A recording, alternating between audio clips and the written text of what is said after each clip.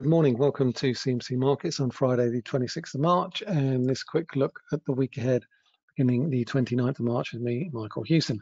Um, certainly it's been an interesting week for equity markets. It's been by and large a fairly positive week despite all of the headlines surrounding vaccines and the um, tension, shall we say, between EU, the EU, AstraZeneca and the UK over vaccine exports. Nonetheless, markets have been able to pretty much shrug off those tensions. But what those tensions don't change is the economic outlook for, or the divergent economic outlook for, say, for example, the UK and the US relative to the outlook in Europe. Reopening plans in Europe have taken um, a little bit of a setback in the face of rising infection rates um, hospitalizations and a slow rollout of a vaccine program. And the biggest problem that Europe has got at the moment is not so much the fact that AstraZeneca is not producing enough vaccines, it's the fact that they've trashed the AstraZeneca vaccine itself. People like Emmanuel Macron, um, President of France, calling it quasi-effective, um, was probably not the best thing he could have done when the French population tends to be a little bit vaccine skeptic in any case. And um, German political leaders haven't exactly been particularly strident in defending the vaccine either, and they are paying a price. They're paying a heavy price for that, and it's incredibly disappointing at a time when Europe and the world needs as many vaccines as it can lay its hands on. I myself had my own first jab this week. I had the AstraZeneca vaccine and was happy to take it, despite all of the trash talk coming from Europe about it. Yes, I did feel a bit rubbish for 24 hours, but I'm pretty much over the worst of it now, apart from a little bit of a sore arm. As we look ahead to the new week, equity markets, or next week, and the end of the month and the end of the quarter, equity markets have had a fairly decent quarter. They've had a fairly decent month. And there's no evidence so far that the buoyancy and the bullishness that has been characterized by the past few weeks has run its course quite yet, despite the fact that US 10-year Treasury yields and 30-year yields are much, much higher than they were at the beginning of the quarter. So the big question now is, have we seen the peak in US Treasury yields? And at the moment, it does look as if we may well have. Um, have we seen a peak in commodity prices, namely copper prices and crude oil prices, because I think that was amongst one of the key concerns that was helping to drive um, Treasury yields higher. That and the fact that there was a concern that maybe the Federal Reserve might look to pare back um, monetary policy support sooner rather than later. Now, at the moment, the messaging appears fairly consistent from central banks, and that is, I think, very, very key. In the context of equity markets and the performance that we've seen thus far this week, there is some uncertainty over um, where equity markets are likely to go to next. But you strip out all the noise, strip out all of the hullabaloo, the political hullabaloo, and look at the price action. The price action is telling me that the highs are getting higher and the lows are getting higher. That is characteristic of a classic uptrend. So the next key target for me on the DAX is likely to be those previous peaks of March uh, earlier this month, around about 14,800, as we look to close in on 15,000. These lows are getting higher. We haven't gone back below 14,200. And until such times as we do, then the DAX is very much a case of buy the dips. Similar sort of thing for the FTSE 100, which is driving me to distraction because I think it should be an awful lot higher.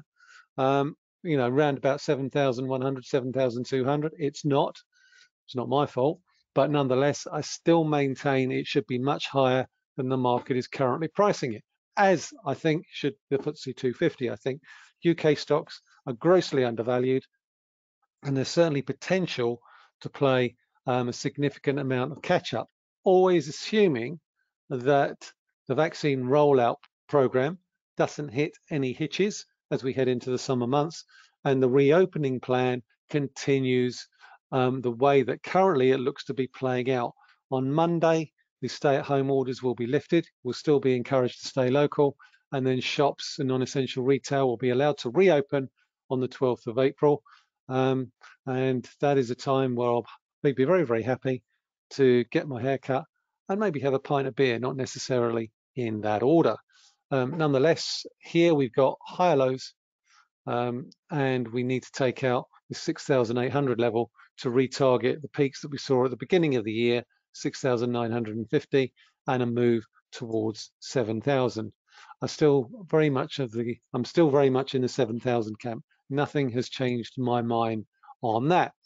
S&P 500, similar sort of story, though it may be susceptible to a sell-off in the NASDAQ. Thus far, we haven't seen any evidence of significant weakness in the NASDAQ. It's just about holding up. Certainly in the context of these lows here, we are still very much in the uptrend that we've been in since November. So again, very much a case of buy the dips and we have made a higher high. So looking at the NASDAQ, maybe that's a leading indicator, maybe it isn't. I don't know. Obviously, we've broken this uptrend here, but what we haven't done is broken below the 200-day moving average. So, you know, even though we broke this series of lows through here, it proved to be a very short-lived drop before we ramped back up again. The next key resistance is a series of peaks through here, around about 13,300, and obviously the 50-day moving average. If we can get back above there, then the upward momentum should be maintained. One of the key, I think, um, factors driving um, currencies has been the strength of the dollar. After an awful lot of speculation that the dollar would weaken in the face of a significant US fiscal expansion, that hasn't actually been the case. Now, that's largely, I think, been as a result of the fact that the US economy is likely to outperform relative to pretty much everywhere else, um, Europe, UK, um, and other G and its other G7, G8 peers. But it's now starting to hit a little bit of a resistance level on this index here. So that's going to be the next key barrier for me. You strip that around, it's around about 117.50 on euro dollar. If we look at that here, and next week's payroll number could be a catalyst that helps drive the dollar further higher. 117.60 was the interim target of this break lower through here, even though we've got a false break here. Nonetheless, we finally hit our target at 117.60, a break of 117.60. We're looking at a retest of these lows down here at 116. I maintain that that is the line of least resistance. Look to sell rallies on euro dollar. We're below the 200 day moving average. That's likely to be a key resistance on any pullback higher. So looking around about 118.50, look, look to sell any rally back to 118.50 uh, for a move towards 116. I think, you know, and the reason for a weaker euro is because Europe is lagging behind in pretty much every conceivable way when it comes to recovery, when it comes to vaccine rollout, and obviously the fact that they've had to extend their lockdowns in France and Germany and Italy into Q2. The hope was at the beginning of the year that all of Europe will come out of lockdown at the same time. And while the UK does look as if it's going to be coming out of lockdown, the same doesn't look likely to be the case in terms of France and Germany, which means that as far as foreign holidays are concerned, UK consumers are going to have to stay at home and spend the money here. So while we won't get a foreign holiday, we won't get a foreign tourist boost, hopefully we'll get a domestic tourism boost for the economy in the summer. I think it's unrealistic to expect that to be allowed to go abroad in Q, much before the beginning of Q3, um, given given the glide path at the moment when it comes to the easing of restrictions, um, not only here in the UK but in Europe more broadly. So now let's look ahead towards non-farm payrolls. That's the key. Um, that's the key economic report for the new week, due on Friday, the 2nd of April. It'll be the March payrolls report. And there's high expectations around this report, very high expectations. You've got to put it in the context of a fairly decent February report, which saw 379,000 jobs added in February, 166,000 added in January, and the prospect that we could well see up to 600,000 jobs added in March. And a large part of the reason for that big jump is the signing off of the $1.9 trillion stimulus package a couple of weeks ago, um, you're going to see a waterfall of cash making its way into US consumers' pockets over the course of the next few weeks. That should have a trickle down effect in terms of businesses employing, um, taking on new staff, but also consumers spending money. So I, I think that as we look ahead to the next few months, you're going to see a significant rebound in the US labour market. Let's not get too carried away. The participation rate is still two percentage points below the levels it was a year ago. So there's still a significant level of underemployment going on. That's been stagnant at 11.1% for the last two months and likely to remain so. But nonetheless, the US economy um, could grow in anywhere a region of around seven or eight percent this year. That's going to turbocharge the jobs market, and as a result, you could well see the US dollar benefit from that um, as the US recovery story um, gains traction relative to Europe and the UK. Now, that's not to say that the pound won't do well as well. That's probably more like the pound is more likely to do well against the euro than the dollar. But I still don't think that there's much in the way of downside for the pound against the dollar, even if you account for the fact that we get a fairly decent recovery in the US. Yes, we are below the 50-day moving average. That is disappointing.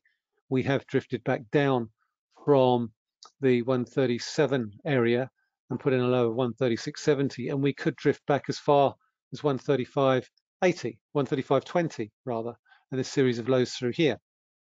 Nonetheless, I'm still of the opinion that we we can still see a retest of 140, pretty much on the basis that euro sterling. Oops, what did I do there? There we go. Get the right one there. Euro sterling is likely to retest the lows that we saw a year ago of 83 back down here. We're at a very key level or approaching a very, very key support level on euro sterling at around about 85.35, 85.30. If we drop below here, then we could see a series of stops get triggered and we could well see a sharp retest of these lows that we saw in February 2020 when we were all the way down here um, just prior to the stock market sell-off that we saw um, in the middle of February last year as the pandemic started to um, rattle investors' cages. And it's quite it's quite notable that the sell-off in stock markets coincided with the um, uh, big rally in euro sterling. So you could actually argue that sterling is a stock market bullishness proxy. So if you're looking at the potential for further upside in stock markets, then you could argue that you need to be bullish sterling. I'm just putting it out there. You can disagree with me if you want. Um, we've also got manufacturing PMIs next week by and large, they've been they've they've been fairly positive. The flash PMIs are positive for manufacturing, the UK, Germany, and France. That's just be, that's that's just expected confirmation of that on the 1st of April. We've got the final iteration of fourth quarter GDP out of the UK. Don't really care about that. It's not really telling us anything we don't already know. And we've got earnings numbers from Next, full year numbers from Next um, on the 1st of April as well. And by and large, given the fact that they've been a high street retailer and have been very hit, hit very hard by store closures, um, the company, the business, has actually done very, very well since the uh, um, lows in July. The share price has done very, very well. We've recovered a fairly decent amount of um, the losses and actually made surpassed the highs that we saw a year ago, despite the fact that um, profits are likely to be quite a bit lower. Nonetheless, I think in terms of the outlook, full price sales dipped by 1.1% for the nine weeks until the 26th of December. That was better than an 8% decline.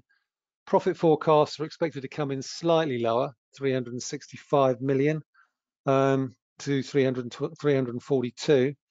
So full year profits before tax expected to come in around about 670 million pounds, which isn't too shabby when you consider that most of their stores have been closed for pretty much over 50% of the year. We've also got uh, numbers from BioNTech, and they will be particularly interesting in terms of their forward guidance for doses and the amount of money that they're going to have to spend in terms of developing production facilities going forward. In total, the company plans to be able to deliver 2 billion doses with the help of its various partners. Now, that move is likely to see its revenues soar. Um, but of course, that also means rising costs. So when you look at his revenues were at the end of 2019, BioNTech had revenues, annual revenues of 109 million euros. 109 million euros. The projections for 2021 for the next full fiscal year are 6.47 billion euros. So you could argue that this share price could well have further to go. It's been an absolutely superb European success story, a success of a startup, you know, a, a biotech startup that's made all the right decisions and you know proven to be a, global lifesaver when it comes to um, the pandemic. Uh, in terms of more broadly, have a look at the oil price. Looking at that there, we look as if we've probably seen a top there for the time being. Still looks pretty choppy given the events that are taking place in the Suez Canal. The hope is that once the Ever Given is refloated, oil prices will start to drop back a little bit as some of the froth comes out of that. When you look at where we were in April last year and where we are now, you would argue that we're, we're pretty much priced in in terms of where we should be when it comes to oil prices. And that would suggest that we've probably seen the top and could well drift back down towards the mid 50s. I don't think we're going to move much below that.